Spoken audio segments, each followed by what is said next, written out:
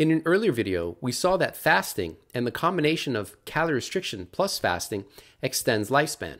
And if you missed that video, it'll be in the right corner. But for a quick review, there were five groups of mice in this study. Ad-lib, AL, both one and two days of fasting, two separate groups, and then another two separate groups of 20 and 40% calorie restriction. In terms of the lifespan increases, we can see that both fasting groups significantly increased their median lifespan, the 20% calorie restricted group was a bit better, and the best of the bunch was 40% CR. But then the authors of this study saw that many mice lived past 35 months, and in all groups, this effect wasn't just restricted to the calorie restricted or to the one or two days of fasting groups, but also some of the mice in the ad lib group, AL, where they ate as much as they wanted whenever they wanted, also lived relatively long or past 35 months which then led the authors of this study to ask the question what might contribute to a longer lifespan, independent of group assignment? So, regardless if the mice were in ad lib or fasting or calorie restricted groups. So, to do that, they looked at a bunch of biomarkers with levels on the y axis plotted against the adjusted lifespan correlation on the x. And without going through all of the data, I'm just going to highlight a couple of biomarkers on this plot. One biomarker were lymphocytes, which are a type of white blood cell. So, having relatively higher levels of lymphocytes when the mice were 16 months old was significantly correlated with a longer lifespan, regardless of which group that the mice were in. So, they didn't have to necessarily be calorie restricted or fasted.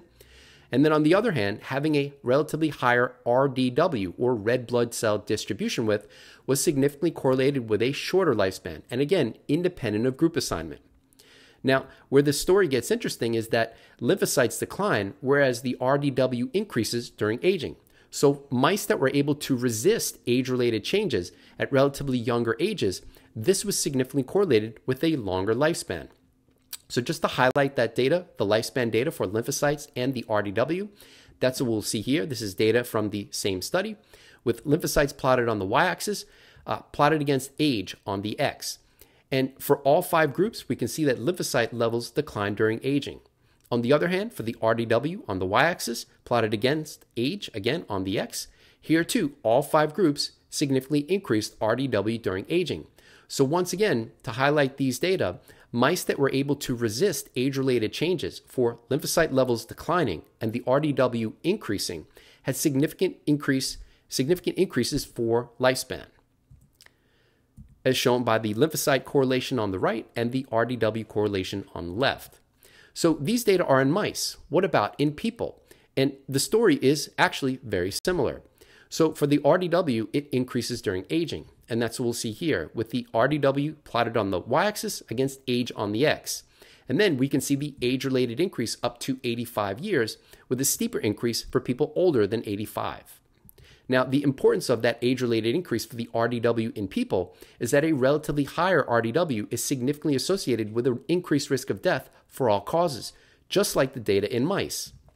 All right, so this is a biohacking focused channel, and the name of the channel is Conquer Aging or Die Trying.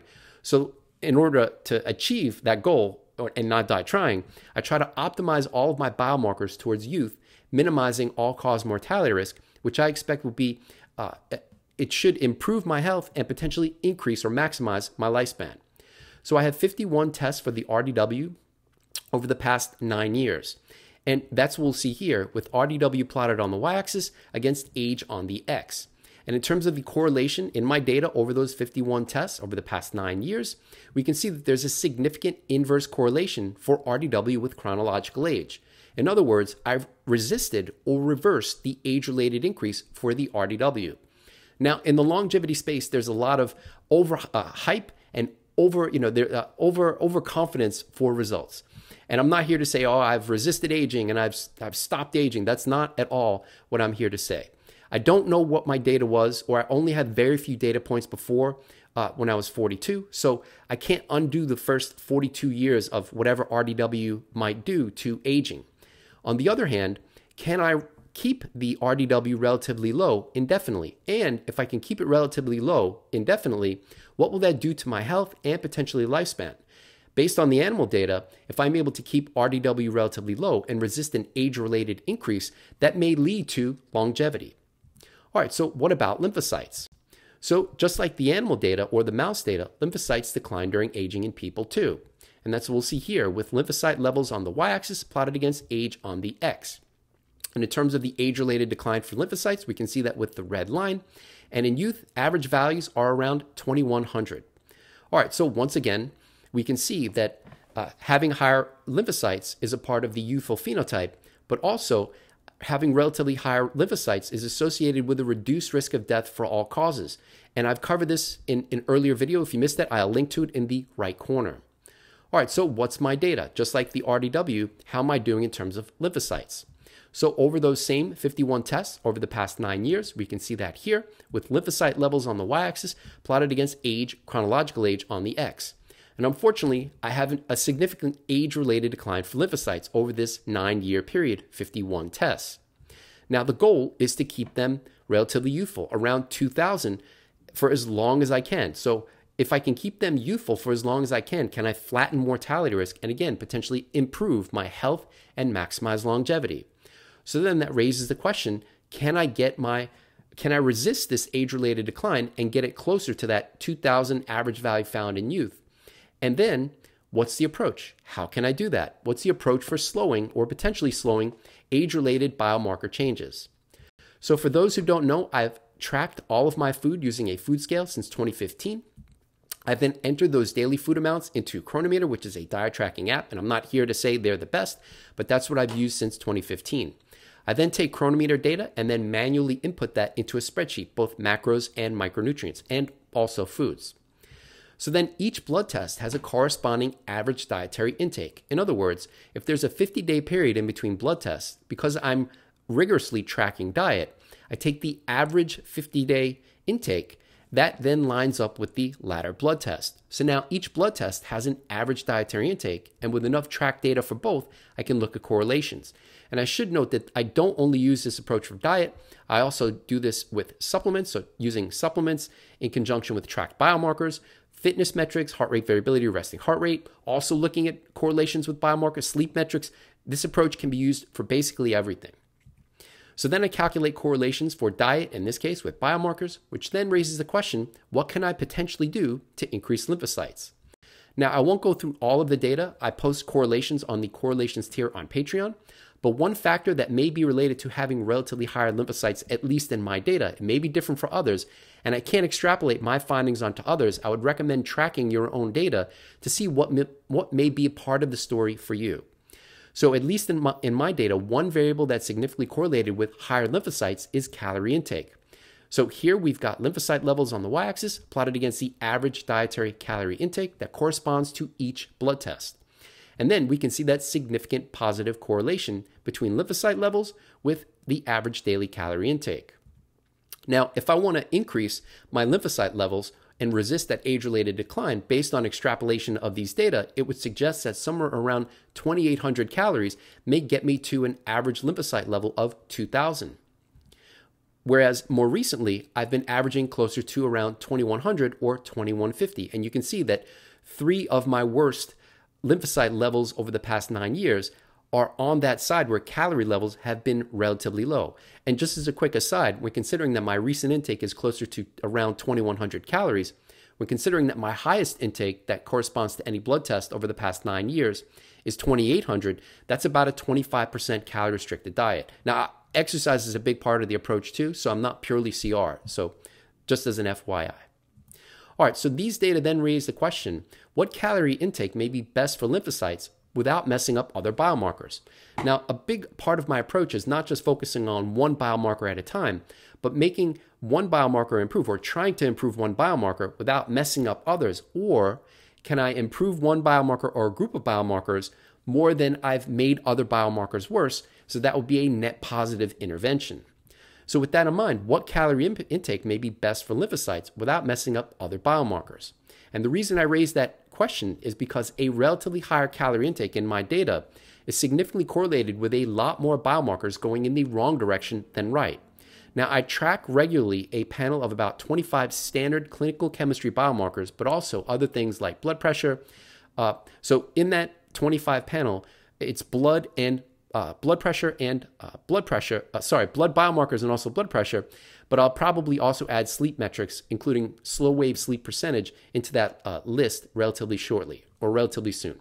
Nonetheless, for that panel of 25 biomarkers, we can see that many of them are significantly correlated with calorie intake and going in the wrong direction in terms of aging and all cause mortality risk.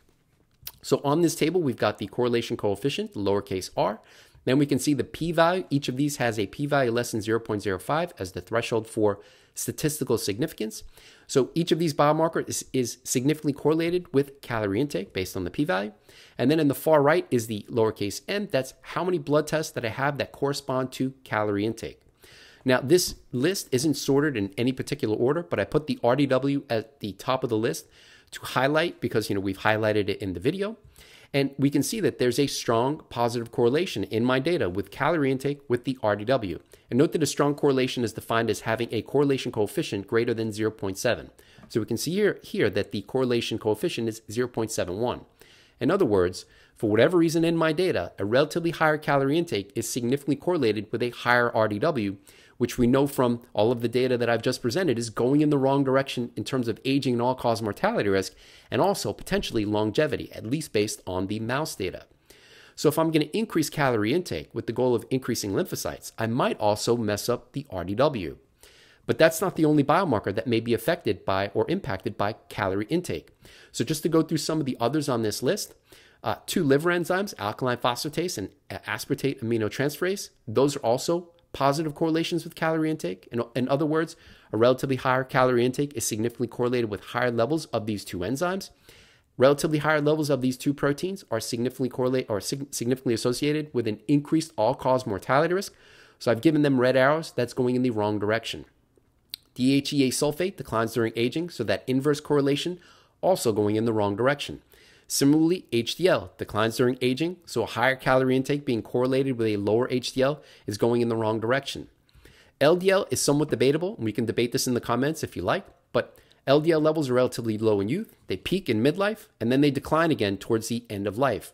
So, whether this positive correlation is a sign that I'm moving towards midlife data for LDL uh, or not is very debatable, so I, I haven't given it a red or green arrow for now higher, higher, uh, sorry, HSCRP, so higher inflammation, high sensitivity C-reactive protein, significantly correlated with higher calorie intake, going in the wrong direction. Pro-inflammatory uh, immune cells, like the combination of neutrophils and monocytes, positive correlation, also going in the wrong direction. They increase during aging, as does HSCRP. Platelets, that gets a green arrow because platelets decline during aging, so a higher calorie intake would seem to resist that age-related decline. SBP, systolic blood pressure, increases during aging, so that's going in the wrong direction for its correlation with calorie intake. And last but not least, uric acid also increases during aging, so that positive correlation with calorie intake going in the wrong direction. So we can see that in terms of calorie intake, if I increase it or by incre- increase it by too much, I mess I may mess up a whole bunch of biomarkers while potentially improving lymphocytes. So, to get back to the original question of what calorie intake may be best for lymphocytes without messing up other biomarkers, I've made a small increase to my calorie intake over the past couple of tests, up from my lowest intake over the past nine years, which was 2080 calories per day. So, current intake is around 2150. Now, in support of that small increase for calorie intake, two tests ago, lymphocyte levels were 1895, much better than those three tests that were less than 1600 earlier this year, and closer to that 2000 average level that's found in youth. And for blood test data that came in from October 25th, which is not included in this plot, lymphocyte levels were 1877, which again is closer to 2000 than it is to the less than 1600.